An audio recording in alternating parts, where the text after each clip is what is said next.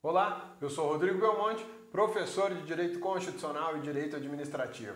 O nosso vídeo de hoje vai tratar do decreto que flexibilizou a posse e aquisição de arma de fogo no Brasil, decreto 9685. Mas antes disso, eu vou te fazer um convite. Se inscreva no meu canal, aperta esse botãozinho vermelho aí, inscrever-se. E também tem um sininho na tela. Clica nesse sininho. Sempre que tiver um vídeo novo aqui no canal do professor Rodrigo Belmonte, você vai ser alertado. Vamos falar então do decreto 9685 e a Constituição da República. Para te contar sobre o decreto e falar se flexibilizou ou não, eu preciso te contar algumas informações importantíssimas antes. Primeiro, nós vivemos no Estado republicano. A República Federativa do Brasil se constitui em Estado democrático de direito. Isso quer dizer que nós vivemos numa república que ela é democrática segundo o direito que a resguarda, sustenta, digamos assim. O sistema jurídico brasileiro ele é todo pautado no regime democrático e a democracia tem que observar justamente as regras constitucionais e todas as demais regras do país. Dentre essas regras todas, a gente tem a Constituição da República, que é o que nós chamamos de norma fundamental. Por que fundamental? É a mais importante.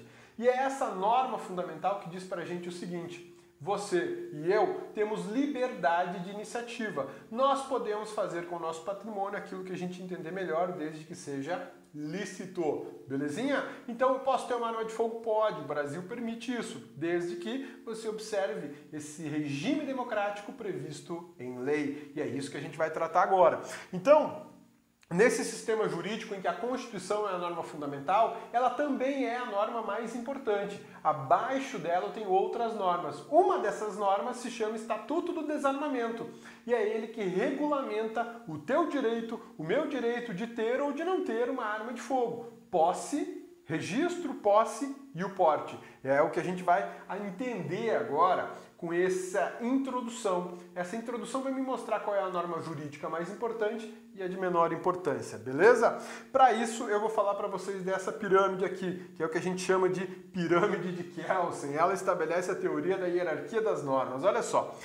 Pensa no Brasil como se o Brasil fosse essa pirâmide. O Brasil é cheio de norma normas. Dentre essas normas, nós temos uma que é a mais importante de todas, a norma jurídica mais importante é a Constituição da República. Abaixo dela são as normas de menor importância. Então eu tenho Constituição, emenda constitucional, leis e medidas provisórias, decretos, que é o que a gente está falando da flexibilização da aquisição de armas de fogo, resoluções, atos administrativos normativos e contratos. Poderia colocar ato jurídico, mensagem de WhatsApp, mas para a gente interessa o seguinte, esse contexto aqui. A Constituição é a mais importante, abaixo dela emenda, leis e decretos. Até o decreto para a gente vale a pena trabalhar. Por que, eu estou falando tudo isso? Porque a Constituição, que é a norma mais importante, me permite uma proteção da minha vida, da minha liberdade e da minha propriedade. Se eu tenho uma vida a proteger, se eu tenho liberdade de adquirir armas e, armas é, e, a, e a arma de fogo é uma propriedade, então eu posso proteger minha vida exercendo a liberdade de comprar uma arma de fogo e tendo inclusive uma propriedade. Tenho essa proteção constitucional. Acontece que a Constituição não traz todas as regras. Ela traz regras apenas que falam da liberdade de iniciativa, da proteção da vida e da é, garantia da propriedade. Você pode, no exercício de qualquer dessas garantias ou direitos fundamentais, por exemplo, proteger sua própria vida de uma agressão. Isso é perfeitamente possível. É o que a gente caracteriza como legítima defesa. Está lá prevista no Código Penal, artigo 24, uma outra lei que está abaixo da Constituição. Então entenda que você vive num Estado que é republicano, que é democrático, e dentro dessa democracia há uma liberdade de aquisição de arma de fogo. Por quê? Porque arma de fogo é propriedade, arma de fogo serve, em tese, para a proteção da vida. É, não vou entrar nem na discussão se isso é legal ou não é. O que eu quero te mostrar aqui é a legalidade ou ilegalidade, constitucionalidade ou inconstitucionalidade do decreto. É o que a gente vai abordar aqui, beleza?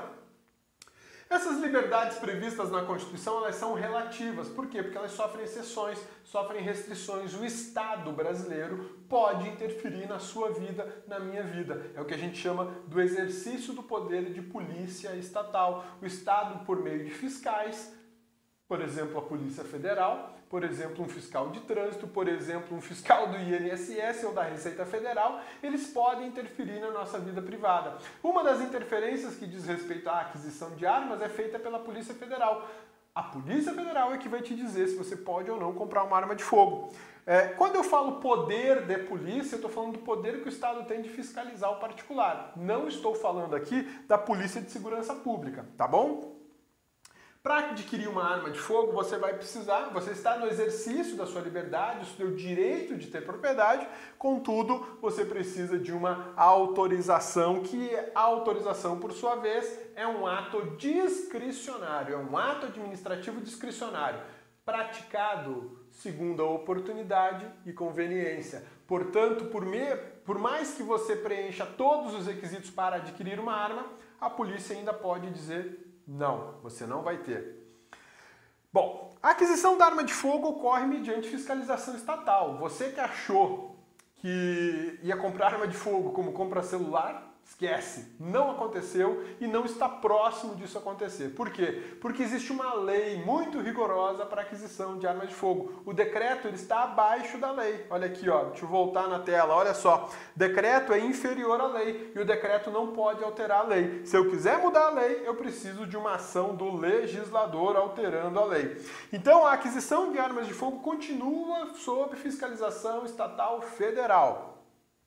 Poder de polícia, que a gente está falando, que é esse poder de fiscalização, decorre justamente da supremacia do interesse público sobre o interesse privado. Portanto, não pense que o decreto facilitou. Ele só criou algumas condições que a princípio diminuirão a burocracia, mas continua difícil para se ter arma de fogo no Brasil. Não ficou fácil. O regulamento básico para você ter uma arma de fogo está aqui, Lei 10.826, Decreto 5.123 e o Decreto Presidencial 9.685 de 2019, que é o decreto é, de cumprimento de proposta de campanha eleitoral do presidente Jair Bolsonaro. Né? Talvez seja o primeiro de uma série de decretos ou de normas que tendam a facilitar a aquisição e posse de arma de fogo. Até aqui a facilitação foi mínima. Né? É, e esse Sinarme, o que é o Sinarme? Sinarme é justamente um instituto, na verdade um sistema que diz pode comprar ou não pode comprar. Então vamos lá. Lei 10.826 não foi alterada e ela continua com esses rigores, ou seja, comprovação de idoneidade, você não pode nem ser investigado policial. Não é que você não é réu primário, você não pode ser investigado no inquérito policial. Ocupação lista e residência certa, capacidade técnica, capacidade psicológica, eu já tinha reprovado nos dois últimos, né?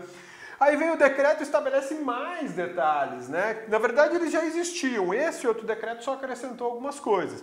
Ó, Declaração de efetiva necessidade. Isso aqui mudou. Esse decreto agora estabeleceu quais são as hipóteses em que você basta declarar e não precisa comprovar que tem a efetiva necessidade. Idade mínima, 25 anos. Documentação da pessoa. Idoneidade ou inexistência de inquérito. Continua super rigoroso. Ocupação lista e residência certa. Veja, o decreto está reproduzindo o texto da lei. Capacidade técnica. Você tem que saber mexer numa arma de fogo. Você tem que controlar sua capacidade psicológica para ter arma de fogo, né? Então eu estou reprovado nas duas, porque eu não ia passar nem na aptidão psicológica nem na técnica. Residência habitada por criança, aqui tem uma inovação do decreto, né? Basicamente duas, uma na declaração da efetiva necessidade e outra na necessidade de cofre ou compartimento super seguro onde tem criança, né? Então veja só, segundo a Lei 10.826, o Estatuto do Desarmamento, adquirir arma de fogo no Brasil exige autorização. Você não está liberado para sair comprando por aí. A polícia que vai dizer que você pode comprar ou não pode comprar. E para isso você tem que preencher todos aqueles requisitos que a gente viu agora há pouco. Continua sendo discricionário. A polícia pode falar: não, você não vai ter arma de fogo. Tá legal? Beleza? Mas o poder de discricionalidade da polícia diminuiu. A Polícia Federal ainda pode indeferir a aquisição, só que agora ela tem que fundamentar e tem que ela tem que dizer que você não se enquadra nas hipóteses tabeladas, porque agora as hipóteses de necessidade são tabeladas. Dá uma olhadinha lá no decreto é, 5.123 com a redação do 9.685, artigo 12, você vai encontrar as hipóteses previstas de que você não precisa comprovar a necessidade, basta declarar. Essa foi de fato uma facilitação, né? Você não precisa agora é, comprovar que mora num bairro perigoso, que tem tantos homicídios por 100 mil habitantes, não. Basta você dizer, eu moro nessa cidade, essa cidade permite que eu tenha uma de fogo. E a polícia é, já não pode mais questionar o que? Necessidade. Tá? Ela ainda pode dizer, olha, não é exatamente assim, eu vou indeferir porque a tua capacidade técnica está reprovada. Agora, a questão é, flexibilizou? Pouco, muito pouco, né? Você achava que ia ser fácil e tal, é, a expectativa é sempre maior, né? A gente nutre expectativas que acabam nos atrapalhando, mas não foi assim o oba-oba, não dá para sair comprando arma de fogo a granel, facinho, pedir pela internet, receber pelo correio. Ainda não, ainda não. Foi um primeiro passo, como diz um amigo meu, né? Foi um primeiro passo, tímido, mas a tendência é que venha com o tempo a gente consiga é, um estado que permita que as pessoas comprem arma de fogo, né? A aquisição da arma de fogo é voluntária, compra quem quer. É, mas quem quiser comprar vai ter que se sujeitar a essas regras, são bem rigorosas ainda, né? Se comparado, por exemplo, o que tem nos Estados Unidos. Beleza? Sussa!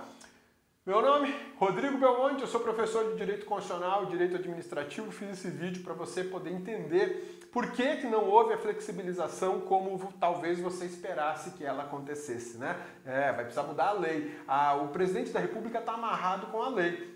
Você quer facilitar a compra e o posse da arma de fogo? Pede para o legislador alterar a lei. O presidente da República pode fazer isso, né? É, você pode se direcionar ao seu representante. Lembra em quem você votou para deputado federal, para senador? Se não lembre, quer comprar uma arma de fogo de forma facilitada, entre em contato com ele, pede para ele alterar essa norma porque não tem decreto nesse país que vá quebrar aquele rigor da norma para aquisição de arma de fogo.